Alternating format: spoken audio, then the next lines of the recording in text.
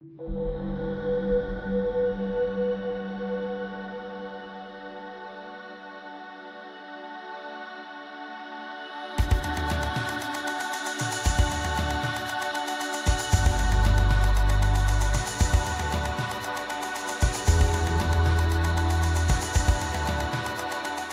show in tandem will be the first show that I'll have had with Dad in this area.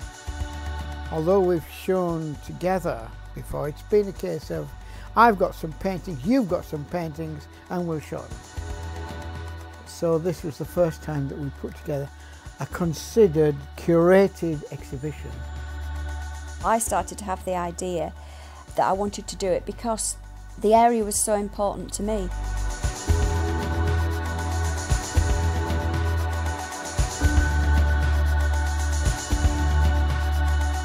And I have that sense of belonging because it's Yorkshire.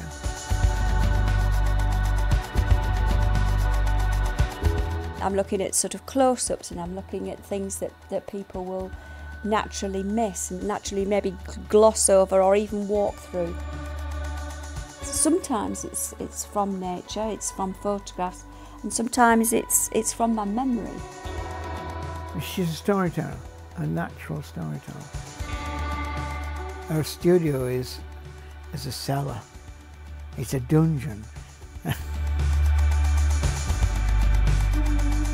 it's about creating a history, about moments in time which culminate in a sort of labyrinth of detail of, of moments that I've remembered and want to savour and, and create something beautiful from.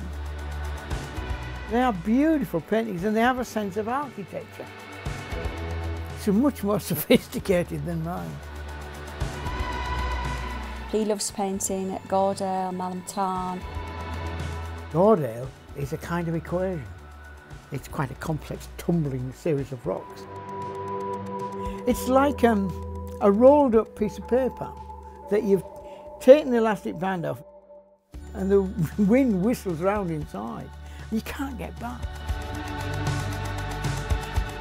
It's easy to put too much detail in. It's quite a challenge to keep it broad and simple. When things are emerging, they're suggesting that sense of poetry. When he comes up here, he'll take his, his rucksack out there and uh, we'll see him sitting on his stool. It's like taking notes in a lecture. It's one way of memorising things. But it's the landscape of the town that captivates me. It's high up, right in the Pennines, as it were. Hardly anything between you and the sky. Oh, wow, this is fantastic. This is awesome.